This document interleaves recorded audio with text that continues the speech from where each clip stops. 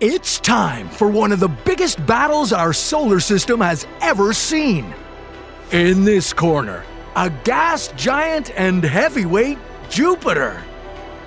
And in this corner, an infinitely small but truly terrifying black hole.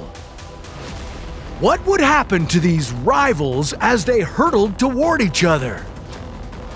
Why would this event cause Earth to be bombarded by asteroids? And would it be game over for our solar system? This is What If, and here's what would happen if Jupiter collided with a black hole. Okay, before the fight, let's take a quick look at exactly what each contender is up against. Starting with our solar system's favorite. Jupiter is the fifth planet from the Sun, located about 740 million kilometers from it. This gas giant is the largest planet, too. It's about 318 times more massive than Earth and twice as massive as all the other planets in our neighborhood combined. But looks can be deceiving. Compared to its opponent, the heavyweight Jupiter isn't all that heavy. Stellar black holes are a lot smaller than our gas giant, but they sure can pack a punch. The thing about black holes is that they are dense, incredibly dense. All of their matter is contained within an infinitely small point known as a singularity. And inside this tiny region, all concepts of time and space fall apart. And like any object with mass, black holes have gravity. A lot of gravity. Most black holes are remnants of massive stars. They're called stellar black holes, and they range from 3 to 10 solar masses. But because they're so dense, if a black hole with 10 times the mass of our Sun appeared in our solar system, it would only be 60 kilometers across. So, would our gas giant Jupiter stand a chance to defeat its tiny but immensely powerful contender? Or would it just be another object lost inside the black hole's point of no return?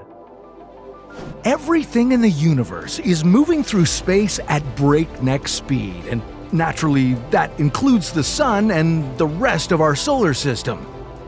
We're whizzing across the cosmos at about 720,000 kilometers an hour. And in this galactic dance, another star may come close enough to us to influence the outer regions of our solar system. Or worse, we might run into one of the nearly 1 billion black holes rampaging around the Milky Way galaxy. Of course, the chances of this happening are slim. The closest star in our neighborhood is over four light years away, and that's far. Scientists think that there's only a 1% chance that another star will ever come close enough to disrupt the edges of our solar system. The chances of a rogue star coming close enough to mess with Jupiter are even lower. But it could happen. At first, as this stealthy force of destruction swung toward us, the black hole would disrupt the Oort cloud, this area surrounds our solar system like a giant spherical shell, and it's filled with icy objects. But these mountain sized ice cubes would be no match for a black hole. As they were pulled along for the ride with this small but massive monstrosity, this would be the first sign that an epic collision with Jupiter was unavoidable.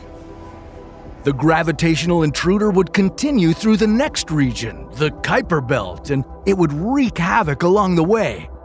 Many of the icy objects here, including the dwarf planet Pluto, would be ejected from their orbits. Things would suddenly get more serious for Earth as many of these objects would now be on a deadly collision course with us. As it passed Neptune, Uranus, and Saturn, the black hole would tear away their gases. These gases would form an accretion disk of superheated gas and dust around the gravitational intruder. And if the black hole came too close to any of these planets, they could also be at risk of being ejected from their orbits. Then, the black hole would finally bear down on Jupiter.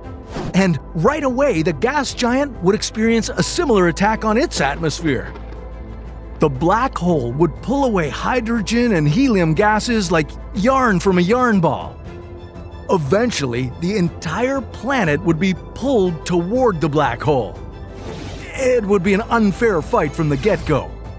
Jupiter wouldn't even be able to get a punch in, and if all this isn't violent enough, just wait. As this dense and hungry monster chowed down on Jupiter's abundance of gas, it would also release an explosive wave of UV and X rays in all directions. Yeah, it would be like one big supermassive burp packed with deadly radiation. This radiation would hurtle toward us on Earth. In less than an hour, lethal amounts of radioactive material would rain down on us. But on the bright side, you'd finally be able to see the black hole up in the sky. Whatever stability we enjoy in our solar system would be gone. The black hole would be swallowing up everything in sight, including our planet. Now, if we somehow managed to be spared the full brunt of the black hole's destructive forces, well, without Jupiter, our solar system would need to find a new gravitational balance. Yeah, Jupiter had a special place in our neighborhood. Its enormous gravity kept asteroids and comets from pummeling us and other inner planets of our neighborhood. It also helped Earth maintain its nearly circular orbit around the Sun.